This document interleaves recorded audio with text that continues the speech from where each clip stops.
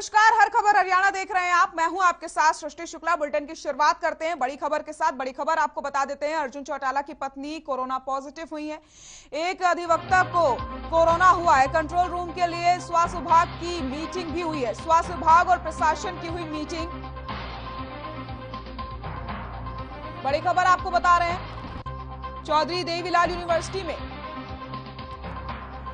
अर्जुन चौटाला की पत्नी हुई कोरोना पॉजिटिव।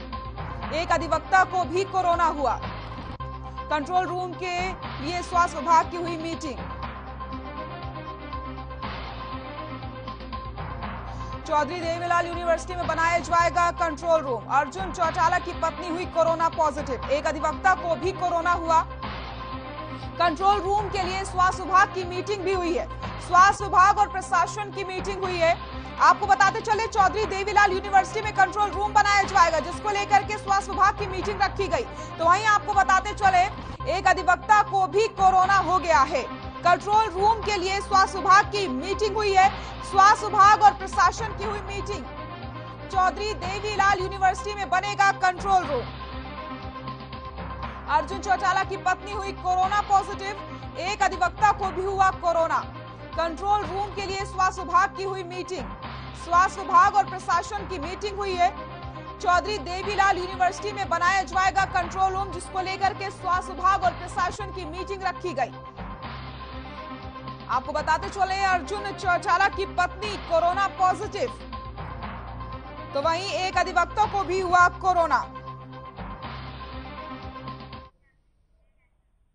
पिहोवा से बड़ी खबर आपको बता देते हैं। सरकार के नियमों की जमकर धज्जियाँ उड़ी हैं। खुले हुए कॉलेज, स्कूल और कोचिंग सेंटर।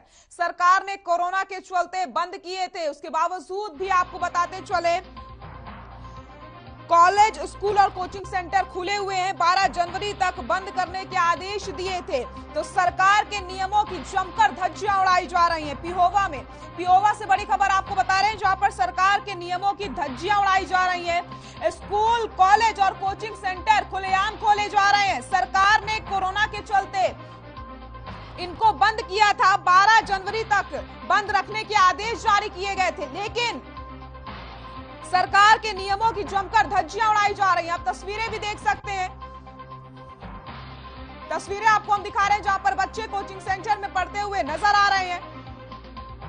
बच्चों की ज़िंदगी के साथ खिलवाड़ किया जा रहा है, जहाँ पर सरकार ने आदेश दे दिए हैं कि 12 जनवरी तक कॉलेज, स्कूल और कोचिंग सेंटर को बंद किया जाएगा। उसके बावजूद भी आप देखिए, बच्चे लगातार कोचिंग सेंटर जा रहे हैं, बच्चे कॉलेज, स्कूल भी जा रहे हैं। तो यहाँ पर सरकार के नियमों की जमकर धज्जियाँ उड़ाई जा रही हैं। पिहोवा से आपको हम खबर बता रहे हैं, जहाँ पर सरकार के नियमों की खुलेआम धज्जियाँ उड़ रही हैं। खुले हुए हैं कॉलेज स्कूल और कोचिंग सेंटर।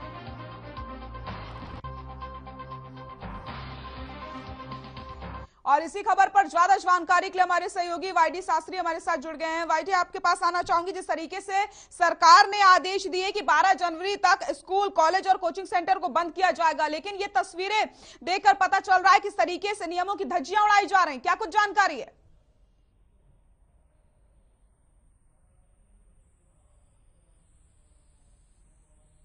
आपको मेरी आवाज़ मिल रही है? बड़ी खबर पिहोवा से आपको हम बता रहे हैं, सरकार के नियमों की जमकर धज्जियाँ उड़ाई जा रही हैं। खुलो, खुले हुए हैं कॉलेज, स्कूल और कोचिंग सेंटर। सरकार ने कोरोना के चलते आदेश जारी किए थे कि 12 जनवरी तक बंद किए जाएँगे कॉलेज, स्कूल और कोचिंग सेंटर। उसके बावजूद भी इस तरीके की तस्वीरें सामने आ रही हैं। बच्चों की ज़िंदगी के साथ खिलवाड़ किया जा रहा है। आप देख सकते हैं किस तरीके से बच्चे कोचिंग सेंटर पहुँच रहे हैं पढ़ने के लिए। जबकि आदेश जारी किए गए थे और सबसे बड़ी लापरवाही यहाँ पर यह है कि बच्चों ने मास्क भी नहीं लगा रखा है। ना तो सोशल डिस्टेंसिंग का यहाँ पर पालन किया जा रहा है। एक तो सारे नियमों की यहाँ पर धज्जियाँ उड़ाई जा रही है। ना कोरोना गाइडलाइंस का पालन किया जा रहा है, ना सरकार के नियमों का पालन किया जा रहा है।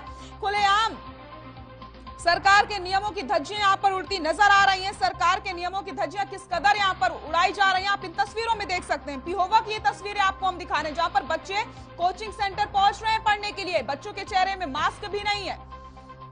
बारह जनवरी तक बंद करने के आदेश जारी किए गए थे। उसके बावजूद भी सारे नियमों को ताक पर रख करके कोचिंग सेंटर खोले जा रहे हैं।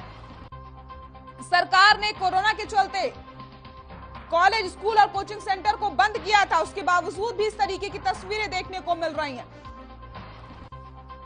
खुले हुए हैं कॉलेज, स्कूल और कोचिंग सेंटर।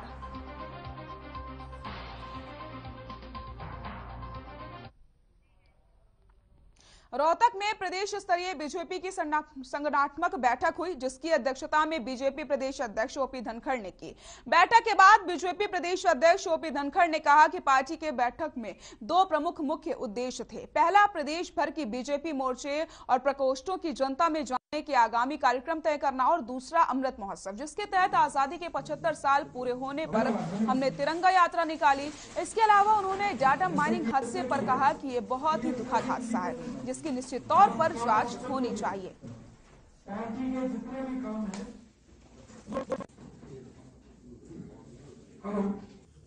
ऐसे स्टेट हेड्स की एक तरह से मीटिंग है हर विभाग हर प्रकोष्ठ हर मोर्चे। और इस बैठक का जो मुख्य उद्देश्य है वो है दो उद्देश्यों पर ये हो रही है। एक उद्देश्य है आगामी योजना एक पूरे समय का रोड मैप तैयार करना। कि आने वाले समय में हर प्रकोष्ठ ने हर मोर्चे ने हर विभाग ने कहाँ तक अपने काम को पहुंचाना है। उसके साथ साथ दूसरा टारगेट है अमृत महोत्सव का। क्योंकि ये आज़ादी का पचहत्तरवा साल है, बहुत महत्वपूर्ण साल है। तिरंगा यात्रा से शुरू किए थे, बहुत हमारे एक सौ उनतीस लोग जाकर आए। डिप्टी सीएम दुष्यंत चौटाला ने अपने कार्यालय में कई विभागों के वरिष्ठ अधिकारियों की बैठक की अध्यक्षता की। वहीं उन्होंने बताया कि गुरुग्राम में हेली हब बनाया जाएगा, जहाँ पर हेलीकॉप्टरों के लिए हेलीपोर्ट से लेकर के उनके हैंगर, रिपेयर समेत उनके एविएशन फैसिलिटी उपलब्ध करवाई जाएगी। साथ ही साथ बताया कि यह हेली हब देश में अपनी तरीके का ऐसा पहला हब होगा, जहाँ पर हेलीकॉप्टरों के लिए एक ही स्थान पर उक्त सारी सुविधाएँ उपलब्ध होंगी। इसके अलावा आपको बताते चले, डिप्टी सीएम ने बताया कि गुरुग्राम में जिस स्थान पर हेलीहब बनाया जाएगा, वहाँ से मेट्रो की सुविधा भी नज़दीक होगी। उन्होंने अधिकारियों को निर्देश दिए हैं कि उक्त प्रस्तावित हेलीहब को लेकर के प्रोजेक्ट तैयार किया जाए और ज़मीन लेने के साथ साथ अन्य सुविधाओं को शुरू करने में आने वाली अड़चनों को दूर करने का कार्य किया जाए।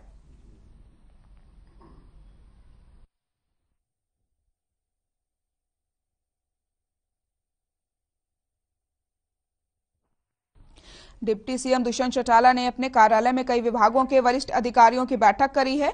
वहीं उन्होंने बताया कि गुरुग्राम में हेली हब बनाया जाएगा, जहाँ पर हेलीकॉप्टरों के लिए हर प्रकार की सुविधाओं को उपलब्ध करवाया जाएगा।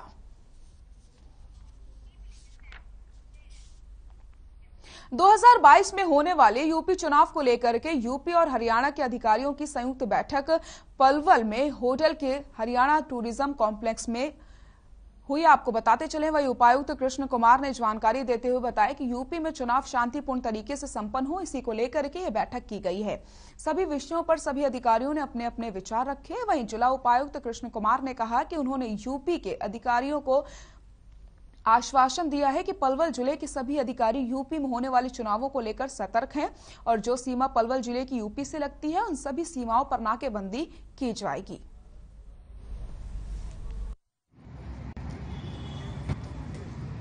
यूपी में हमारा एडजॉइनिंग डिस्ट्रिक्ट मथुरा है और वहाँ पे अभी चुनाव होने हैं और ये चुनाव को शांतिपूर्ण कराने के लिए दोनों जिला के अधिकारियों की आपस में कोऑर्डिनेशन मीटिंग थी जिसमें जो भी सहयोग हमारी तरफ़ से, पलवल की तरफ़ से रहेगा कानून व्यवस्था बनाने के लिए या बाकी गतिविधियों को स्मूथली इलेक्शन को कंडक्ट करने के लिए मथुरा में, उसमें जो भी सहयोग पलवल से रहेगा वो सुनिश्चित करने के लिए यहाँ पे मीटिंग हुई बाबल क्षेत्र के गाँव टांकड़ी के बस स्टैंड और अंबेडकर चौक का नाम बदलकर हिंदू सम्राट पृथ्वीराज चौहान के नाम पर रख दिया गया है। जिसको लेकर के विवाद खड़ा हो गया, वह इस मामले को लेकर के एसडीएम संजीव कुमार ने ग्रामीणों के साथ बैठक करी और नसीहत दी है कि वो खुद कानून को हाथ में न ले, बल्कि प्रशासन इस समस्या का समाधान सौहार्दपूर्ण ढंग से निकालेगा।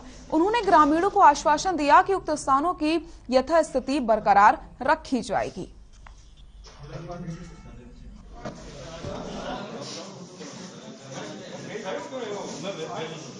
दोनों पक्षों को बुलाया था और उन्होंने अपने बात रखी और उसके बाद जो है सर्वसम्मति से फैसला लिया गया। जो यथास्थिति थी पहले तो वो बनी रहेगी।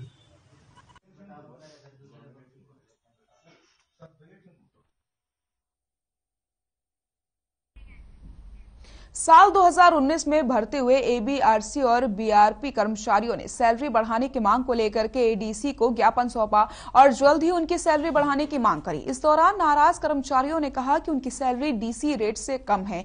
एबीआरसी और बीआरपी कर्मचारियों ने बताया कि उन्हें साल 2019 में भर्ती किया गया था, लेकिन तब से ही उन्हें छठवें वेतन आयोग के हिसाब से सैलरी दी जा रही है, जबकि दूसरे विभागों में सातवें वेतन आयोग के हिसाब से सैलरी दी जा रही है। इतना ही नहीं, गुस्साए कर्मचारियों ने अपना रोष प्रकट करते हुए कहा कि महँगाई के इस दौर में उनकी सैलरी डीसी रेट के कर्मचारियों से भी कम है, जबकि उनकी योग्यता बहुत ज़्यादा है।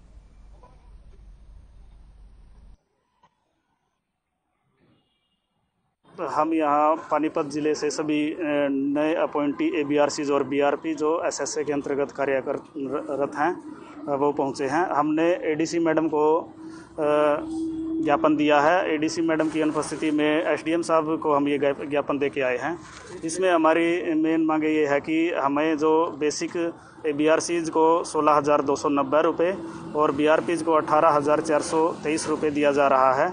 वो सिक्स सी पी सी के हिसाब से दिया जा रहा है, जबकि कई अन्य विभागों में भी नेशनल हेल्थ मिशन आदि, इनको भी सेवन सी पी सी का लाभ दिया जा चुका है तथा तो 2019 से जब से हम कार्यरत हैं, उसके बाद हमारा जो इंक्रीमेंट है वो वो भी फिक्स पे ही लग रहा है ग्रोस पे नहीं लग रहा है।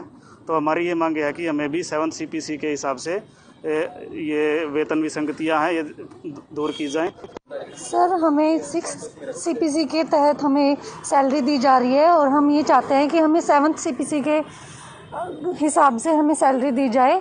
क्योंकि हमारी जो क्वालिफ़िकेशन है, वो डिज़र्व करती है कि हमें जितनी, जिस हिसाब से हमारी क्वालिफिकेशन है, हम PG with sixty percent above marks और साथ में बीएड और नेच एस्टेट की क्वालिफिकेशंस मांगी गई थी, जो कि हम सबकी है तो उसके हिसाब से हम यहाँ पे सैलरी के लिए हमारा मुद्दा उठा रहे हैं।